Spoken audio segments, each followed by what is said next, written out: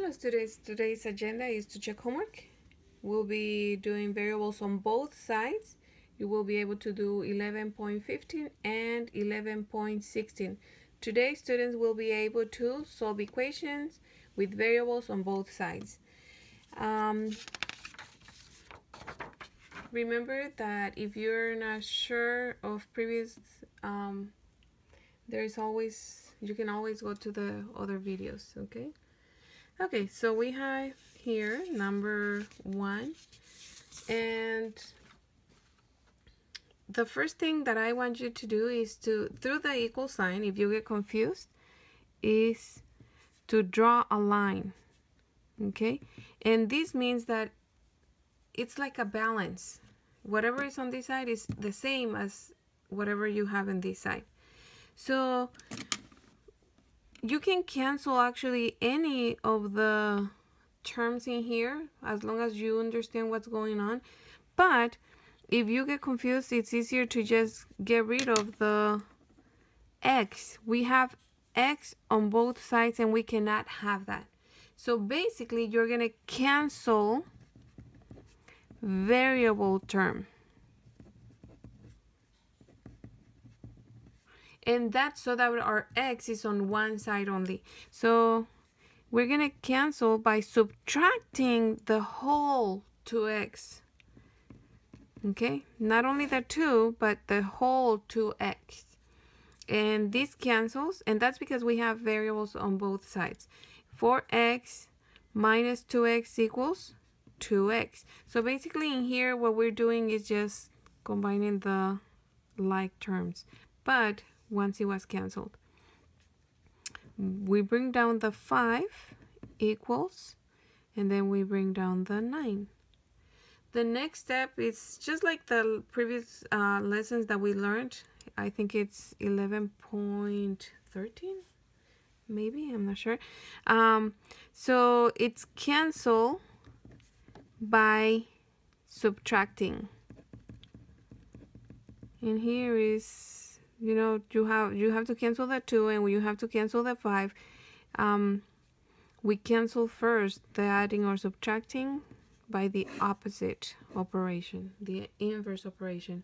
So we get in this side 5 minus 5 is 0 so that, that's why it's canceled. And so 2x equals 9 minus 5 is 4 finally when you have a number and a variable it means multiplication.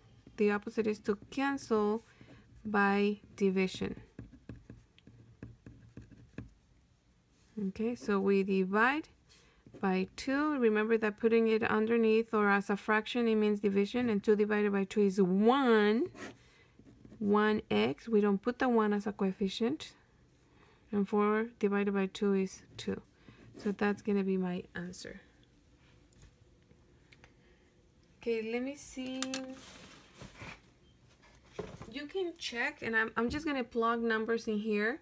I'm to replace to check really fast.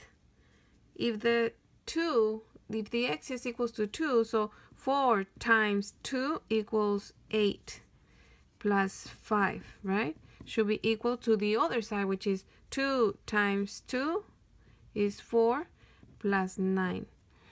8 plus 5, that's equals to 13 and 4 plus 9 equals 13 so yes it is equal. That means that my answer is correct. Okay? So that's a quick way of checking. If you do have that equality that means that it's the answer is correct. Uh, this part you don't have to do. It's just a quick way to check it. Some people do it mentally also. Oh 4 times 2 is 8 plus 5 is 13 let's check in the other side. 2 times 2 is 4 plus 9 is 13 as well. Okay, let's do another one. Again, the first thing, whenever you see variables on both sides, they are not combined like terms. Some people say, oh, 7 plus 3 is 10x. No, it's cancel the variable term. Again, we're going to draw the division. And so to bring it to here together with the 7, if you're adding 3x, you have to subtract through 3x so that this cancels on this side. But if you cancel on one side, then you cancel on the other. Look at the sign in here. And here you're adding, and down here for both, both of them, you're subtracting. And so this cancels, and you get 7x minus 3x is 4x plus 10 equals 18. Then from here is just like the regular two-step equations. You cancel by subtracting. And so minus 10, minus 10. Remember that you all cancel the plus or minus of the constant. And finally, the coefficient, okay? So it's going to be 10 minus 10 is 0. That's why it cancels. Equals, you put 4x 10 minus, I mean 18 minus 10 equals 8. And then in here, this is multiplication. Now you're going to cancel by division. Remember that the opposite, the inverse of multiplication is division. So you divide. 4 divided by 4 is 1. X equals 8 divided by 4 equals 2. Again, if you were to just check really fast, even mentally. 7 times 2, 14. Plus 10, 24. Is it equal to the other side? Uh, 18 plus, you multiply 3 times 2, 6. 18 plus 6, that's also 24. So we say that this is right.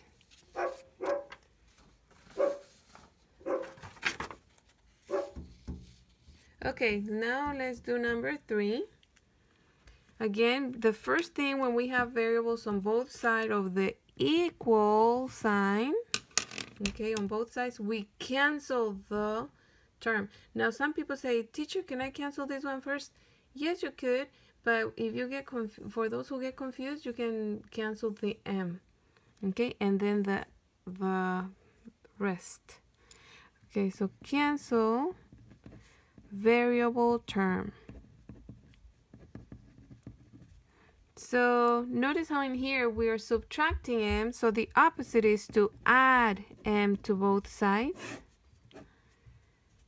4m plus m is 5m, and the rest you just bring down the same, the same, and this was canceled. And from there is just your two-step equations, okay?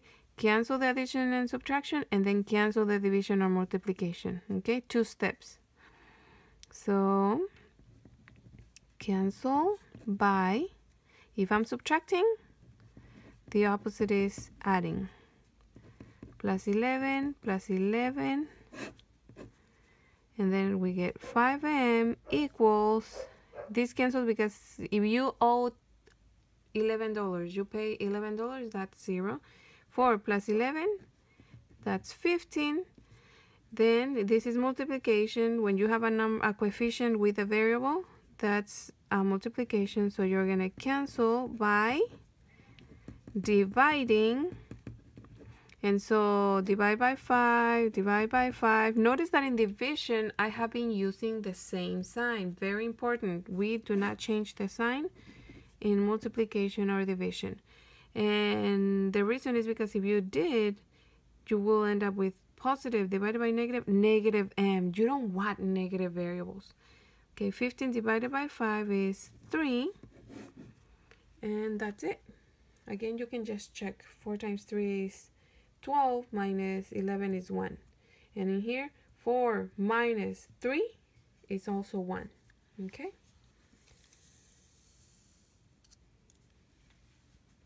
Okay, the next one. Again, cancel variable term.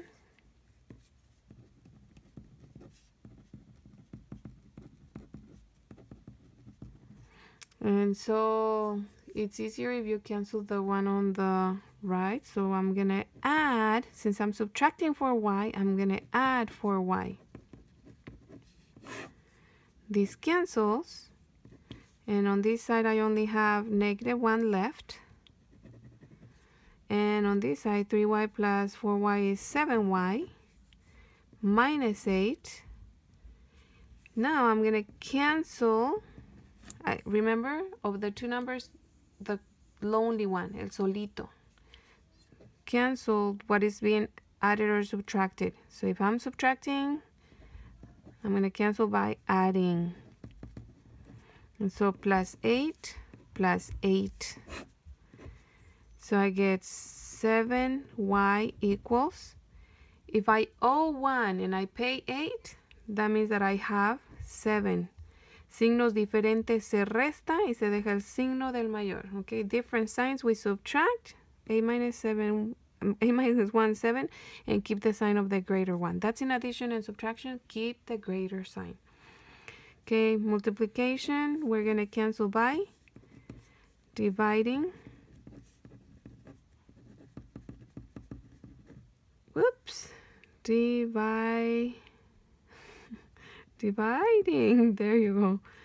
And so 7 divided by 7 is 1. Y equals 7 divided by 7, 1.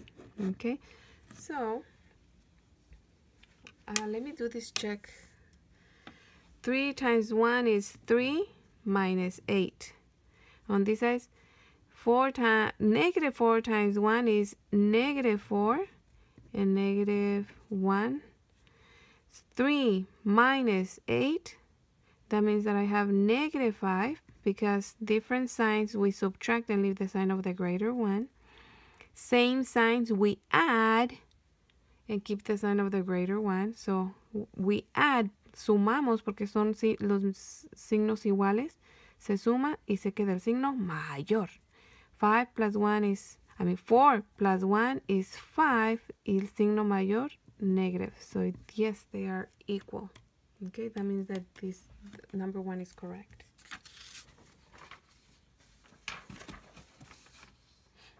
Okay, since you get it, I'm going to do it a little faster. Voy a hacerlo un poco más rápido como ya lo entendieron.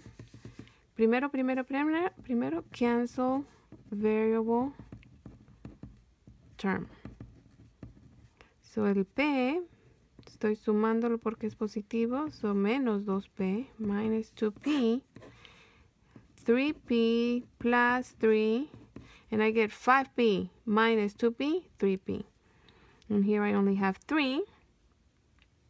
If I'm adding, I'm going to cancel by subtracting.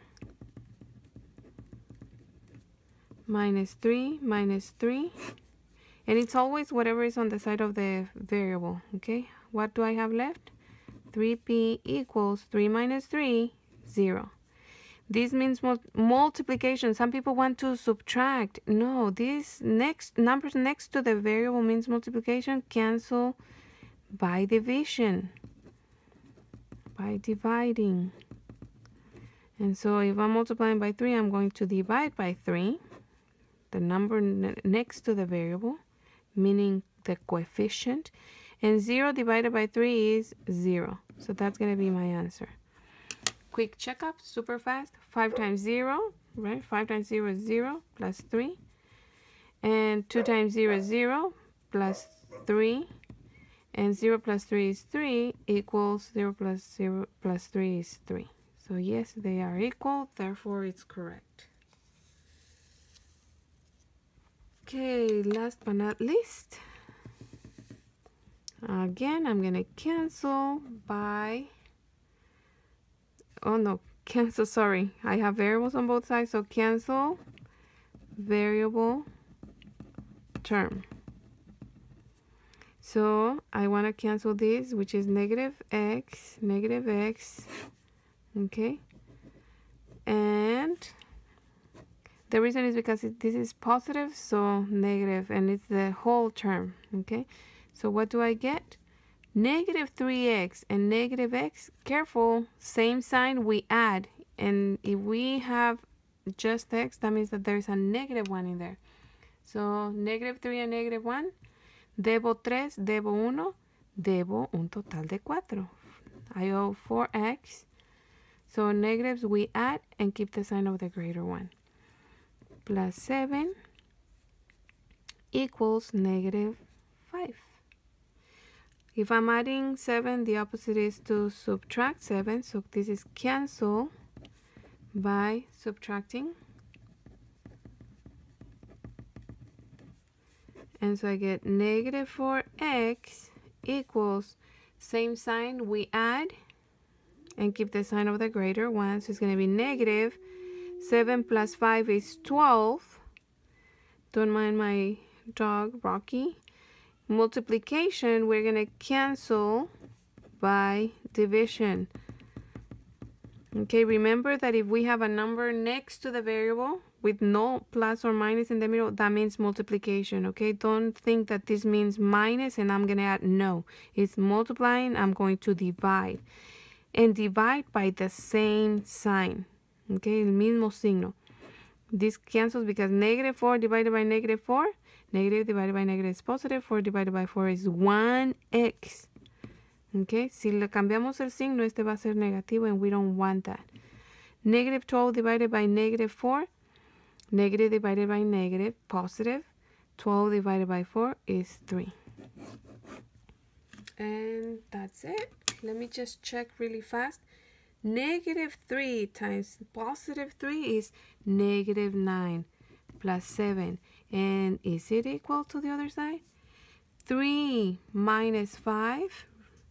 And so all I did was to replace this and multiply it, okay? Negative 7 plus 2 is, plus 7 is negative 2, okay? Different signs we subtract and keep the sign of the greater one. Is it equal to the other side? 3 minus 5. Again, different signs we subtract. 5 minus 3 is 2 and keep the sign of the greater one, which is negative. So yeah, they're equal, so yes, this is right. Okay, so now you can work on 11.15 and 11.16, so have fun.